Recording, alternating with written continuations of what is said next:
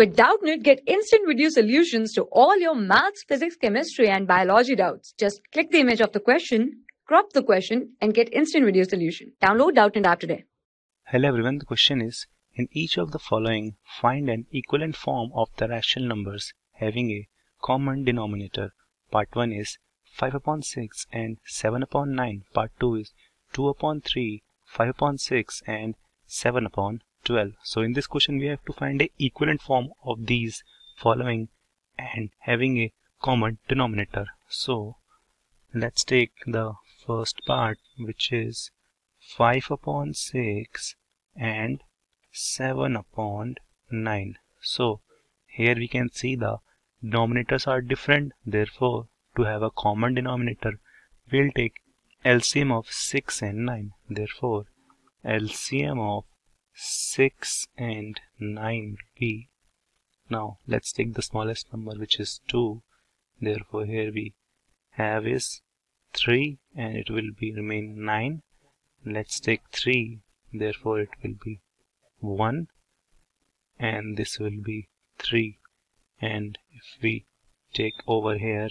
3 1 remain as it is and this will also become 1 therefore LCM is 2 into 3 into 3 which is 2 into 3 is 6 and 6 into 3 is 18 therefore LCM is 18 so here our denominator will become 18 here also denominator will become 18 and here numerator will become 5 into 3 because in denominator 6 into 3 is 18 therefore numerator is also multiplied with 3 here 7 into 2 because in denominator 9 into 2 is 18 therefore numerator is also multiplied with 2 now 5 into 3 is 15 and upon 18 remain the same and this will be 7 into 2 is 14 upon 18 remain the same. Therefore these are the rational number having common denominator that is 18 both have common denominator as 18 this is the answer of first part.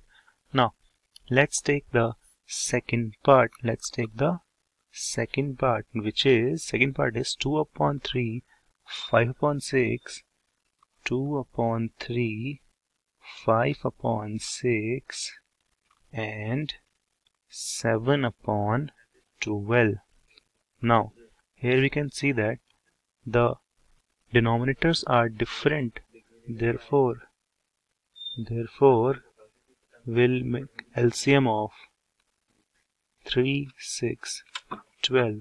Therefore, if we take 2 over here, 3 remain the same. This will become 3. This will become 6. If we take again 2, 3 remain the same. This 3 remain the same. This 6 will become 3. Now if we take 3, we have remainder 1, 1, 1.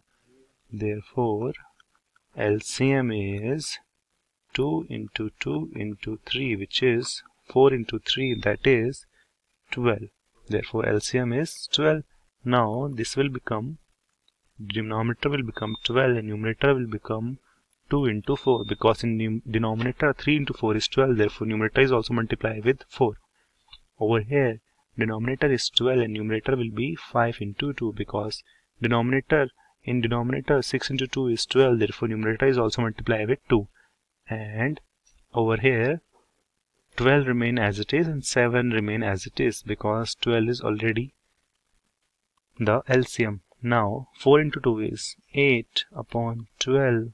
5 into 2 is 10 upon 12 and 7 upon 12. So these are the rational numbers having common denominator which is 12.